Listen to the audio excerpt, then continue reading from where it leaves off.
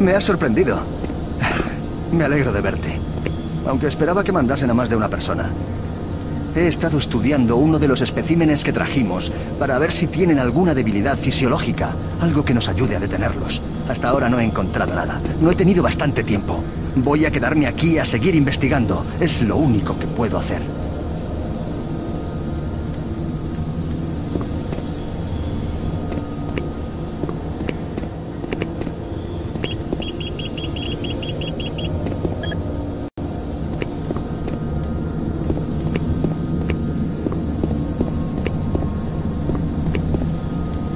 Voy a quedarme aquí a seguir trabajando. Enviaré mis hallazgos a la base de datos.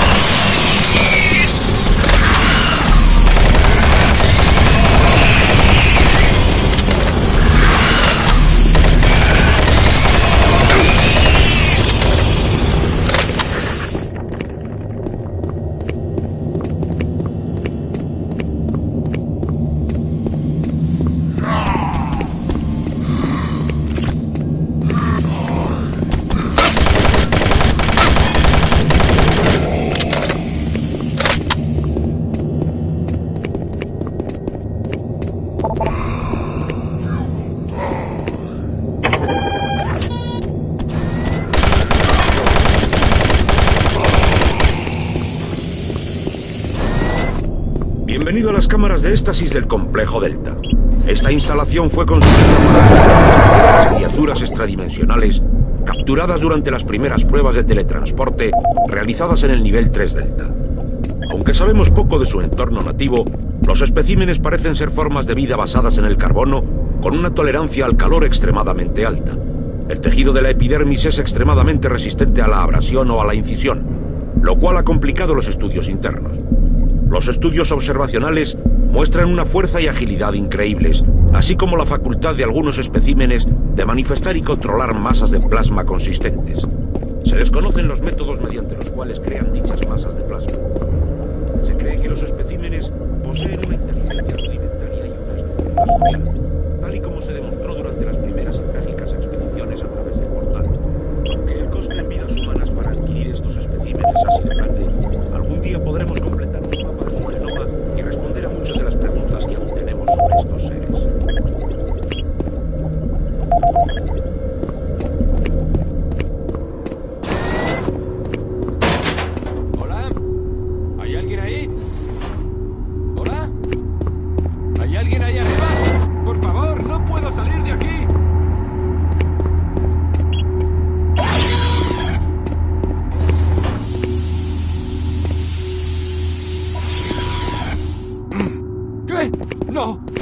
Dios, no! Dios mío! ¡Ah!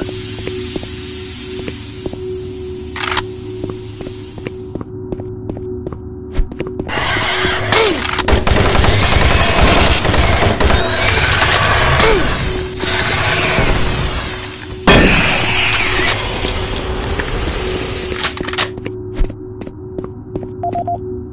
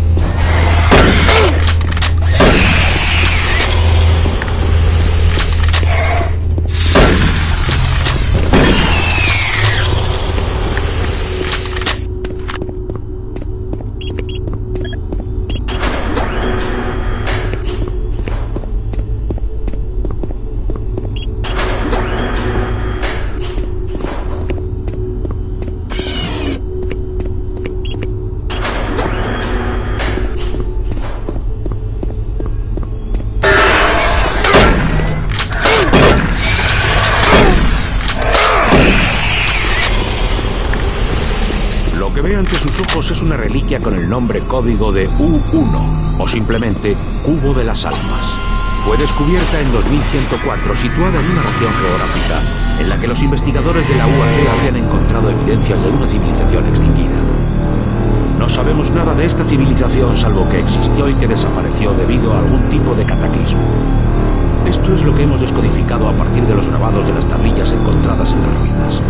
Según las pistas que hemos podido reunir, se trataba de una sociedad culturalmente avanzada cuya tecnología solo puede describirse como mística. Las extrañas características del U1 son evidencia de esto. Los intentos de examinar más a fondo el U1 han resultado inútiles. Los métodos de espectrometría masiva y análisis mediante radiación no han podido proporcionar una identificación fiable de la composición molecular de este artefacto.